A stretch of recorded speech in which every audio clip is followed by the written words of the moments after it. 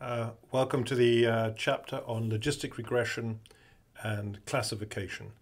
So I want to classify a variable that's uh, 1 or 0, logistic regression, and welcome to its applications in predictive analytics.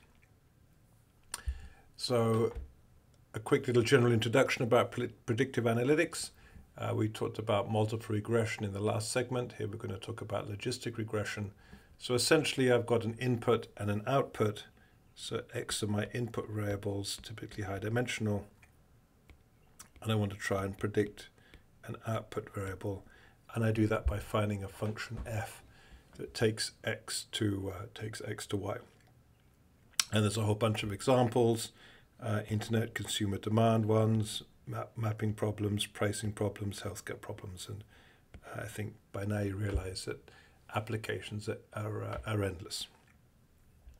Okay, so let's, let's talk about classification as opposed to uh, straight regression. So by classification, we just mean we want to predict a categorical variable. And for ease of simplicity, let's, let's just think about predicting a variable that goes 1 or 0. So we can't use uh, regression in its ordinary form because uh, y is either 1 or 0. What we really want to know is what's the probability that y equals 1 given some input variable. And again, we've got a list of predictors just like in multiple regression. So there's uh, endless problems, millions of problems where you want to do logistic regression, sports betting, win or lose problems, uh, lots of healthcare ones, uh, decisions to, to buy or not to buy, or to click through on a Google on a Google ad or not, uh, and lots of credit risk uh, problems too. And again, the goal is quite simple. Let's try and predict the probability that y equals 1 given a certain combination of our x variables, class, the so-called classification problem. So there's a typical problem. Uh, Capital One, one of the companies that uh, uh, looked at default data credit risk. Uh, how do I predict um, FICO scores as well? FICO, another company that looked at these types of problems. How do I predict uh, customer credit as a bunch of variables? So here's our formula for logistic regression. So y is essentially an indicator or dummy variable, takes value 0 or 1, x is our list of predictor variables, and we're going to model the probability that y equals 1 as some function uh, of parameters beta 1. I could I could introduce an intercept here too. I could have a beta 0 if I if I wanted an intercept. Some function of beta 1x all the way down to beta p uh, xp. And again, we know that it's a probability, so we know we know that that f goes between zero to one. And of course, what's a, what's a typical function here that will that will uh, do that mapping for us? And in neural network terminology, uh, this is called an activation function. Well, there's more than one that would do it. Uh, one that would do it would be the normal CDF, would be that would be the phi function, and that would lead to something that was being popular in economics, uh, would lead to, to probit models. Uh, there's also another class of models called Tobit models, but the, the, the, the class we'll look at today uh, is essentially the logit models, uh, where we look at the function uh, e to the x over 1 plus e to the x, or, or basically 1 over 1 plus e to the minus x. And that's a natural activation function to take us from uh, a linear combination of predictors into a probability that goes from 0 to 1. So another way of saying that uh, if I invert f, if I take f over the other side, another way of saying that is, is I look at the log odds. Uh, I look at log of p over 1 minus p, and essentially I run a regression on that. Uh, and as x goes up by one unit, so if I increased x1 by one unit, my log odds would go up by, my left-hand side would go up by beta 1 hat units, as I've estimated beta 1. Now, because it's discrete data, uh, I don't have a normal distribution. I've got, I've got a binomial distribution. Uh, and again, the command used for fitting this is called the GLM command, Generalized Linear Models. And there's a whole bunch of other options too. So there's a whole bunch of possible models that you could run. You could run a Poisson regression if I had count data or a negative binomial regression. So uh, there's a, a, lot of opportunities here. Here I'm just putting in two variables, x1 and x2. In general, I'd have multiple variables. And again, I can transform my x variables. I can add interaction terms. Uh, I can do all the other things that we've done with multiple regression. Uh, so here's here's a, a little example, a simple example. Does the Las Vegas point spread predict whether or not the favorite wins in a bunch of NBA games? So we'll do it. We'll do a simple uh, uh, example. Uh, turquoise, the favorite wins. Uh, purple, the favorite does not win. Uh, so most of the time, the favorite wins. Sometimes, sometimes they don't. What happens if I run this regression? spread minus one means I'm taking out the intercept. So uh, if the point spread is zero, uh, essentially I'm assuming it's 50-50. And again, we can see an estimate on a log odds scale uh, of how much does a one point change in the point spread affect your estimate of the probability of the favorite winning. And again, on the log odds scale, uh, it's at about 0.156. Uh, take the ratio of these two, I get, I get a, a z-score or t-score of 11, so it's highly statistically significant. Uh, the Vegas point spread is good at predicting the uh, uh, predicting the probability of winning. And again, if it goes up by one, uh, there's what about an 18% chance change in the uh, uh, in the odds. So if I go back to my logit model, the probability of the favorite winning given the point spread is e to the beta x over 1 plus e to the beta x. So for example, if I plug in 8 or a 4, if I see a pretty heavy favorite, uh, the win probability there is 77%, and the win probability here is uh, is only 65%. And again, I'm just plugging in for my beta uh, the 0.156. And so it's sort of the obvious fact, but clearly the bigger spread means a higher chance of winning. But what's nice with the, logistic regression is I can actually put probabilistic numbers to those as well. Uh, I was lucky enough uh, at a stats meeting once to meet Bill Benter, a very famous guy uh, who built a big logistic regression with like 80 variables for predicting uh, which horse was going to win uh, horse race. Uh, again, if you click on the link up here, there's a hyperlink to Bloomberg. Uh, so Bill Benter, big use of logistic regression in horse racing betting. Kaggle, there's a data set up there with Hong Kong horses. Uh, there's a whole bunch of variables. I played around a little bit. Uh, I tried a couple of logistic regression models. Again, that's the machine learning tool used to develop these uh, horse racing models, uh, including win odds, so including uh, the odds created by the market is sort of important. It's a key variable.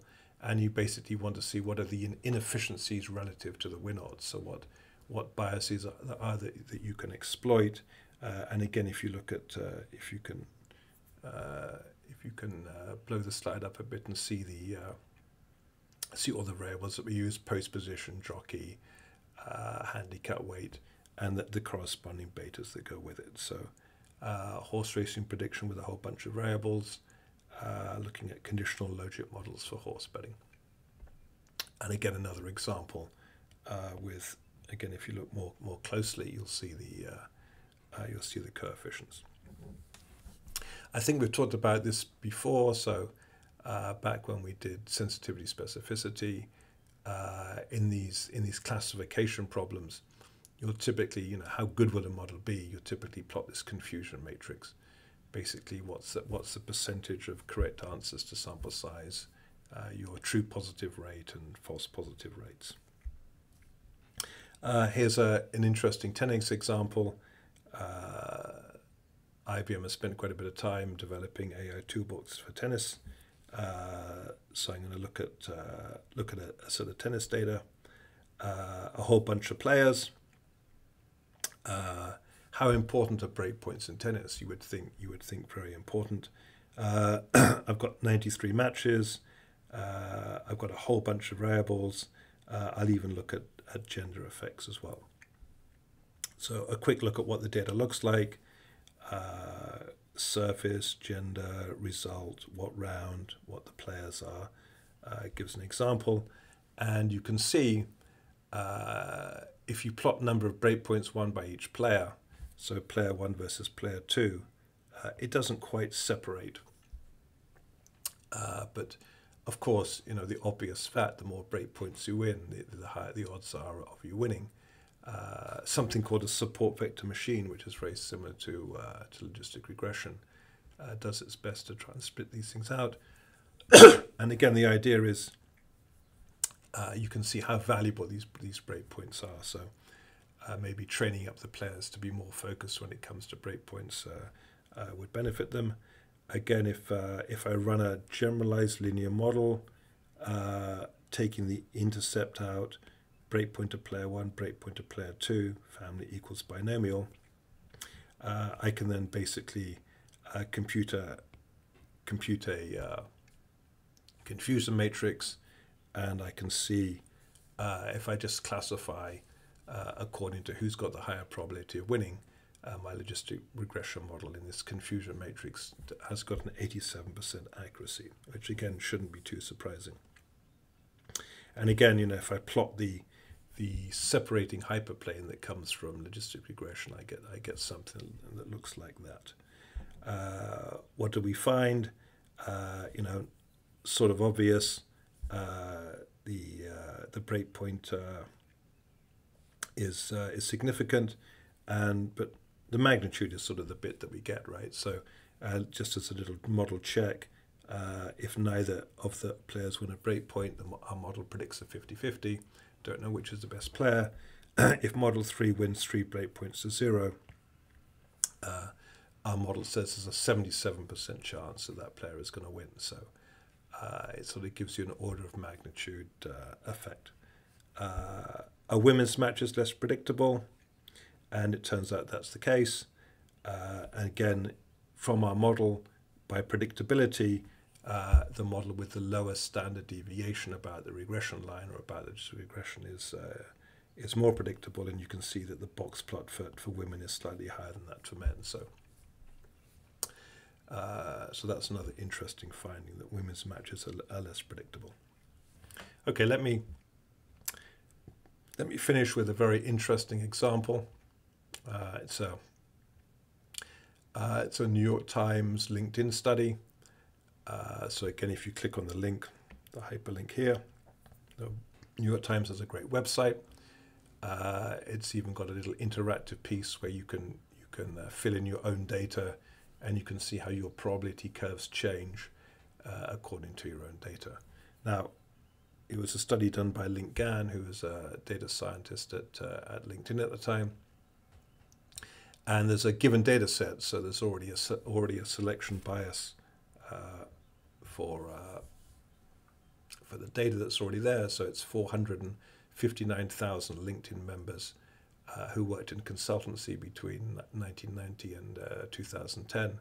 And the uh, the question is is what's the odds of you becoming a uh, vice president or, uh, or, or get to the C-suite uh, of of the 459,000 uh, members about 64,000 members made it so the underlying base rate is about uh, you know got a low probability of uh, of making it up high in the corporation one in about, about one in seven and the question is is you know how can you improve that chance and again, we're going to look at, I think, eight variables educational background, gender, work experience, career trans, uh, uh, transitions, and education will do undergrad, grad as well, uh, business school, not business school. And again, the whole goal is just to run a big logistic regression to work out what's the probability of becoming an executive. And in the modern in the modern era of, of big data and, and these and these uh, machine learning techniques, what's interesting is that you really can look at these big data sets and you really can infer some very interesting patterns from them. So I think uh, uh, more transparency and more interesting to see what. Uh, I'm surprised more people don't look at more of these big uh, big data sets. So again, let me just remind you of logistic regression. This time we'll include an intercept. Uh, your log odds of becoming an executive is a bunch of eight variables. Uh, we want to work out your success probability. What are the what are the variables or features? which city metro region. We're going to see that New York, uh, if you're willing to work in New York, you've got a, you've got a bigger odds. Uh, we're going to assess the gender effect. Uh, we're going to assess the education effect. Uh, did it does it matter if you go to get an MBA from a top US program or not? Uh, we're going to look at your undergraduate type. Did you go to liberal arts? Uh, did you go to a to a top non-US school? we'll look at that as well. And then work experience is interesting. So let, us see you know, how the model loads on these things. Uh, does it matter how many companies you worked for? Does it matter how many jobs you've done? Does it matter if you jumped between industries or not? And then uh, does age, uh, what is the marginal effect of, of work experience uh, do for you? And so remember, it's a huge data set 459,000 LinkedIn uh, CVs and uh, X-rayables, of which 64,000 people, of which one in seven became executives. And so we get all the beta hats. So you can see how your log odds uh, change. So for example, you can look at the relative changes. So you can look at years experience versus, uh, say, for example, uh, whether you do an MBA or not. And so, you know, 1.16 is uh, what about uh, you know 12 times, 13 times years experience. So you can see, uh, you know, getting getting an MBA is maybe uh, in, in, this in this 20 year period was clearly a, a, very good thing to do. Oh, and you can see what's a bad thing to do. A bad thing to do is to jump between different uh, different industries. And you can also see that there's a there's a bias. Uh, there's a there's, there's a gender bias in the data set as well, which is also quite significant. And again, with these larger data sets, you can actually assess these, uh, uh, you know, you know, more objective, more objective ways of, of assessing these things. Remember, these are numbers having controlled for other numbers. Uh, and the 0.28 will, will basically be a New York effect. So here's here's here's a bunch of uh, of findings. As I as I said before, uh, uh, you know, until you run the data, you don't you don't see what what happens. Uh, a top five MBA program uh, is equivalent to about 13 years of work experience. Uh, willingness to work in New York City over that period made a made a big difference, and then working across different job functions like marketing finance is good, but but switching industries is actually a negative. Uh, why is that? Well, do you have to relearn a bunch of things, or have you lost your network, or uh, I'm not sure what the causal reason is, but uh, not good to switch industries, but good to work in different parts of the same industry. And so here's just three examples. Uh, as I said, if you go to the New York Times website, you can uh, you can plug your own data in, and you can see if you'd made slightly different choices, uh, what would have happened to your or what would happen to your probability of success. So, uh, and I'm sure all these three people here are are uh, equally happy, but it's interesting to see uh, see what you would get. And I guess I guess I, I, I guess I relate a little bit to to person B. Uh, and you can see how the, the probabilities change 6%, 15%, and, and 63%. And so, you know, the winning, the winning strategy is really uh, top undergraduate program, top MBA, different job functions in one industry, and, you know, years experience, uh, you know, does help as well.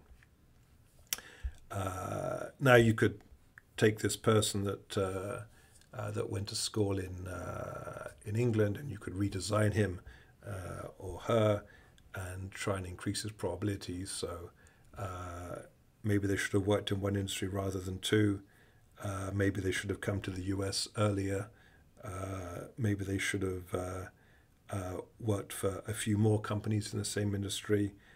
maybe should go straight from London to New York.